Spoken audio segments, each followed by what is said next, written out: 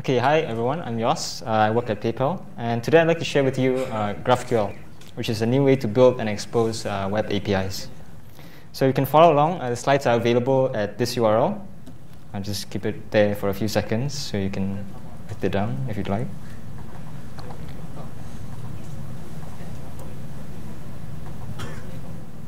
Okay, so just to get this over with, um, I work at PayPal, but this is uh, from my own personal experimentation and nothing to do with, yep, it's just personal stuff. So I'll, I'll walk you through um, a bit of background about where web, web APIs are at the moment, followed by REST, which is how we're currently building web APIs. We'll then get into GraphQL and some code of an actual GraphQL service written in Node, and that's it. So this is the key idea of my talk. If there's not, if nothing else, um, this is it that an API is a user interface for developers. So we should put some effort into making it pleasant, that the user experience of an API matters. So a bit of background. So today, web APIs are eating the world. So there's a service for every imaginable need, payments, video encoding, file storage, analytics, transactional email. Most likely, if you're building a web app today, you'll be using one of these services. And uh, so APIs are pretty important, but for some of you, you might be wondering, hey, but I'm not building an API, so why should I care? So how many of you use Slack at work or personally? A lot of people use Slack. Um, so I think part of the reason we use Slack is because of the massive selection of integrations available. We could, for example, uh, notify a channel when a PR is built, uh, PR is opened, or when a CI job completes, or when a deploy is successful. And how was Slack able to do this? Each integration wasn't built by Slack's developers, but rather by third-party developers that found it very easy to integrate with Slack's API. So I think we can attribute part of Slack's success to the fact that their API has a great user experience, and that generates immense value for Slack and the users. So web APIs, uh, APIs are pretty important, user experience matters. So next, I'll be we're going to REST, which is um, how we're currently building web APIs. So the key idea of REST is we separate our API to different logical resources. So for example, if you have a blogging platform, you would have things like users, uh, posts, users, and comments, for example. And then we map CRUD actions, create, read, update, delete, to a combination of HTTP methods such as get and post, and URIs. So for example, to retrieve a list of posts, we make an HTTP GET request to the post namespace, and so on for each CRUD action. So for the rest of this talk, let's imagine that we're building a Hacker News or Reddit clone. And so we have a list of posts and links, which are essentially links to interesting stuff. Uh, so what resources do we need? First would be posts, and others could be users and comments. So this example will be revisiting throughout this talk. And this could be a possible data model for such a, an app. We have three tables with some, with some fields, and we expose some endpoints for, to allow our API consumers to interact with the underlying data model. Yeah. So that's it. Wow, we're done with our REST API. So we can rest easy, right? Well, let's try using our API. So again, this is what we're trying to build, uh, what we're trying to render. So first we have to make uh, an API call to get a list of posts. So we get to the post namespace, and we get a JSON response, which is an array of JSON objects. Uh, but we're still missing the author's uh, username here. So we have to make a separate API call to get the user's name. But we have to do this for every single post. Um, so the problem is we have multiple, have to make multiple round trips. Each API call is a separate request response cycle. And especially on mobile, where we have variable network conditions, it might be undesirable. So one solution is we auto-load, we allow the clients to specify that, hey, I also want to load this other resource alongside my post. Uh, but this solution seems more of a hack because, again, one is that we, we are polluting the endpoint, the post endpoint, by specifying, hey, there's this other resource I want to um, pull alongside the post. Another problem with REST APIs is we often overfetch. So a lot of APIs, usually you get a massive JSON object in, in that is returned. even though we might only be using, say, a couple of fields. So, and another solution is, again, clients should maybe be able to specify only the fields that they, that they need. But again, the query string, mm, not as clean a solution, I think. And so one solution is uh, we create a custom endpoint for each client in each version, which returns exactly the fields they need. So they don't have to manually specify fields in their query strings. But the problem with this is you end up with a massive uh, amount of endpoints that are very tightly coupled to the clients. And it's, this is also not desirable. And a final challenge with uh, APIs is documentation. It's pretty important. Imagine integrating with a third-party API with no documentation. If you're lucky, maybe they have some HATEOAS links that you can discover the API, but it's a nightmare. So how, who, will you, who needs to learn about our API? So if you have an API product, this, this would be your users, your API consumers. If you're looking in like a microservices setting, it will be developers from other teams that needs to consume your service. Or it could be new hires who needs to get on board very quickly and start getting productive. And the documentation must cover things like what resources does the API manage? What, what, what can I do with the API? And for each endpoint, what parameters does it accept? And is it a string? Is it an integer? So these things have, have to be documented and accessible to your API consumers. And currently the solution to this is something called an API specification language. So how many of you have heard of Swagger?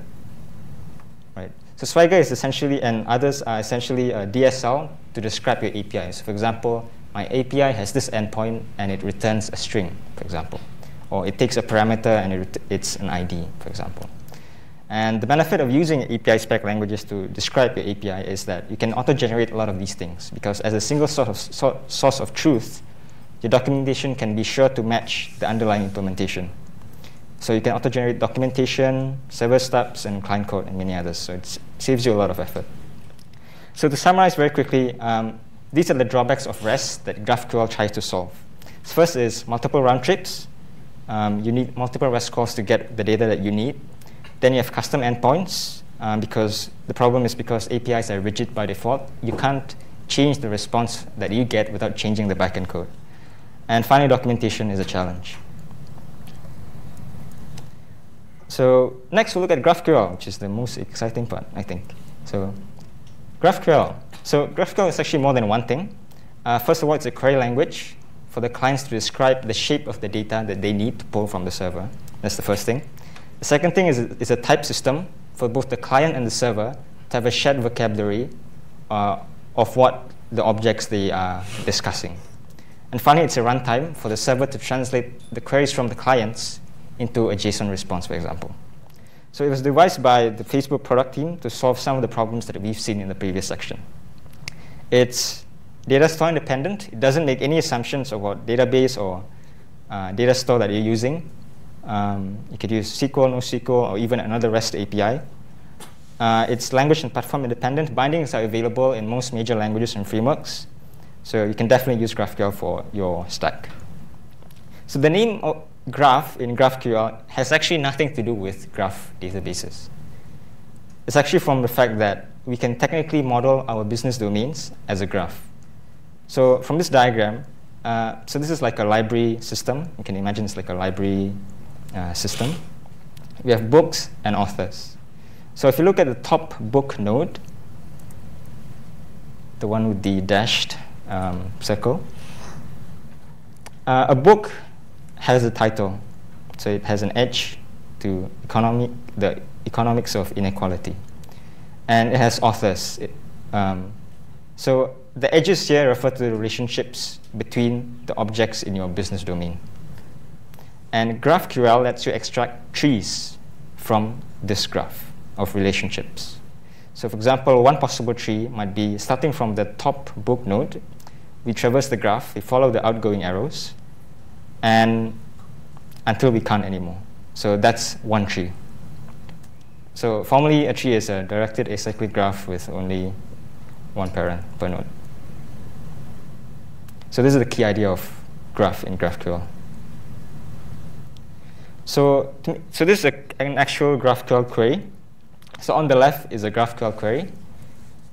And on the right is the response that a GraphQL service returns.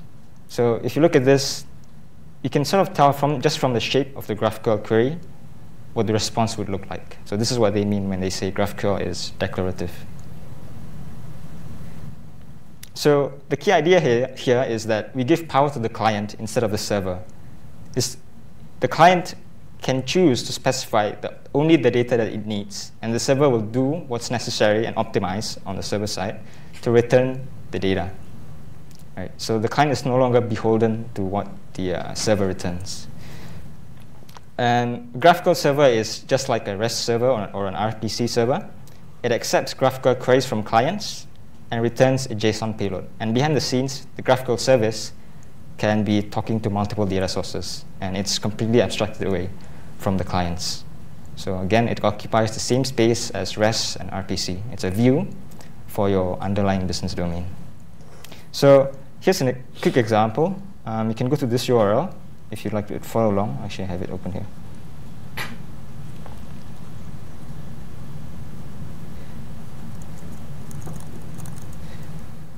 So this is a GraphQL IDE. This is called GraphiQL.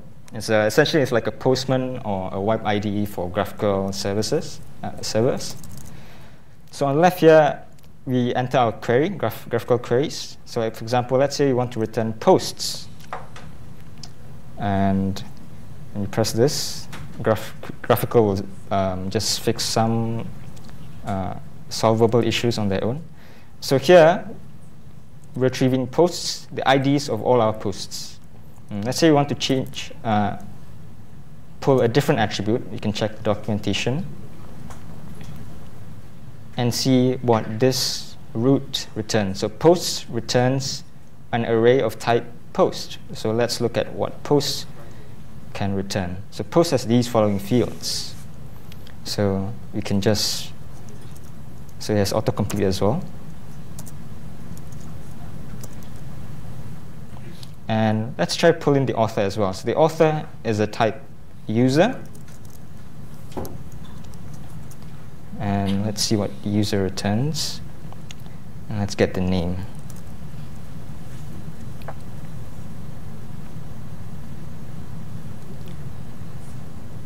And that's it. So we extract the, the complex um, graph of relationships of our business domain in a single API call. So that's pretty cool. And one other thing is, nice thing about a GraphQL is, because the, the schema is saved on both the server and the client, the client can perform client-side validation. So for example, name is an invalid uh, field here for the type post. And the client can know, even before we send the, this request to the server, that a, if a query is valid or not. So that's GraphQL.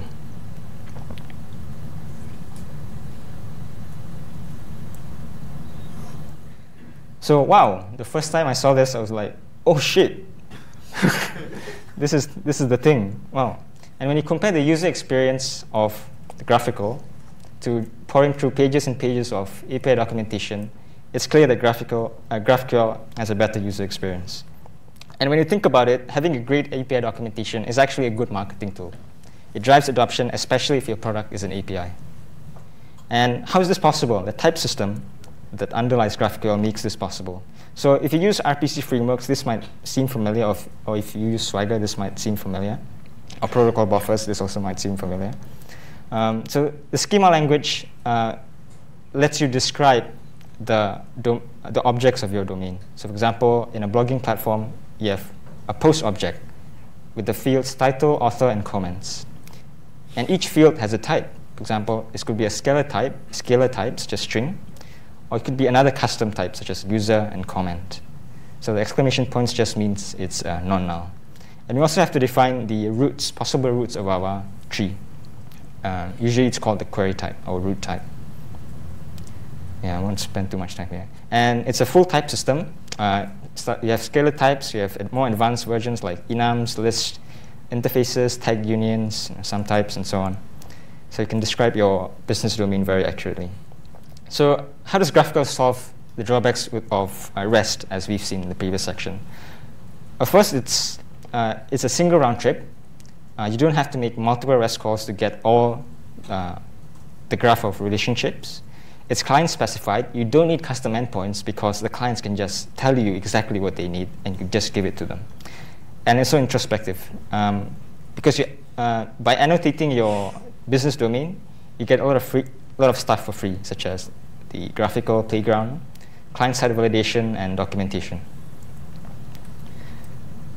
Yep, so that's GraphQL. So now, to make it more concrete, let's look at an actual uh, GraphQL server written in Node. So to create a graphical server, you need two things. You need a schema, which is essentially a description of your business domain, the objects in your like, uh, application, and resolver functions, which tell GraphQL where to pull the data from. And for this example, we'll be using Node and Express. Uh, but again, bindings are available in all major languages.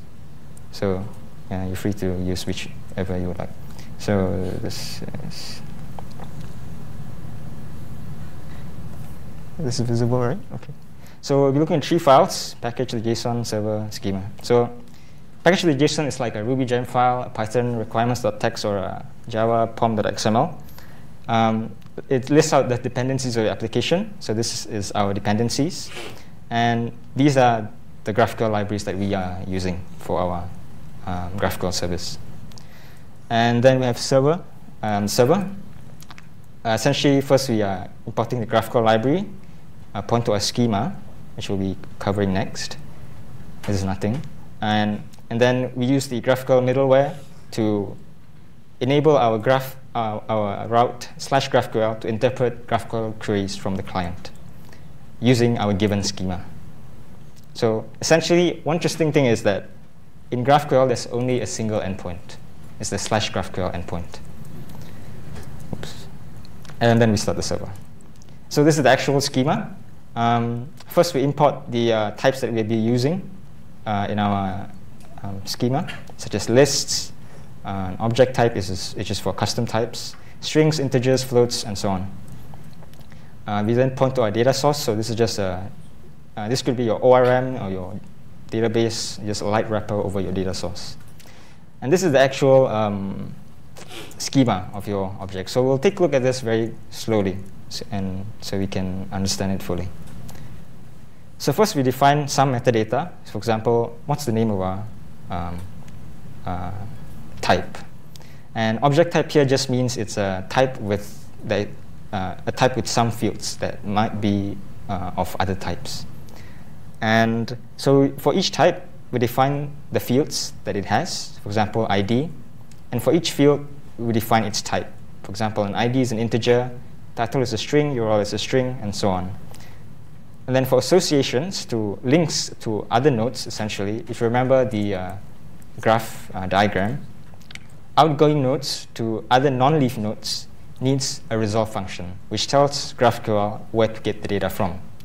So for example, this author here is of type user, and the resolve is a function which accepts the, the source node, for example, uh, that means like the post node, and uses that information to retrieve the next uh, node, in this case, the user. Any, um, anyone, any questions at this point? Okay. And then next, we have to um, define the roots, the possible roots of our tree. And this is often called the query type. So for example, so the query type defines the valid starting points of our queries. And so we've seen in the GraphiQL demo. Um, so post is a possible root of our tree, and as type list, a list of posts. It returns a list of type post. You can also specify arguments, uh, which let us specify acceptable arguments for a particular node. So for example, I didn't actually show you, but uh, you can specify um, arguments along with your query. And then you can make use of these arguments in your resolve function which again pulls the, lets the GraphQL know where to get your data from. And finally, we return the schema, and that's it. Okay, well, thank you.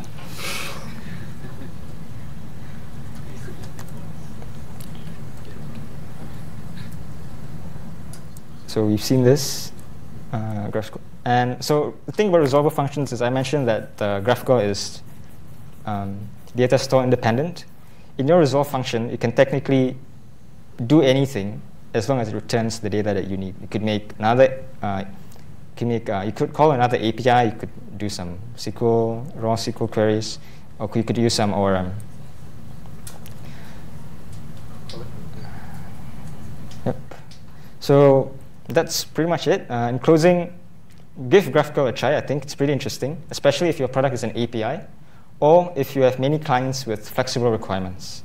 Um, I didn't cover, deliberately didn't cover many features of the uh, GraphQL because these are mostly syntax sugar, but the core idea is the same. And because GraphQL is still pretty new, best practices are still emerging. So, yep, we'll see what how GraphQL uh, comes along. And if you're, so just a bit of a plug. Um, if you're interested in all things like APIs, like API design, API development processes, and new technologies like GraphQL, do check out uh, this meetup group, API Craft Singapore. I think, uh, I think you'll be interested in something like this. And thanks.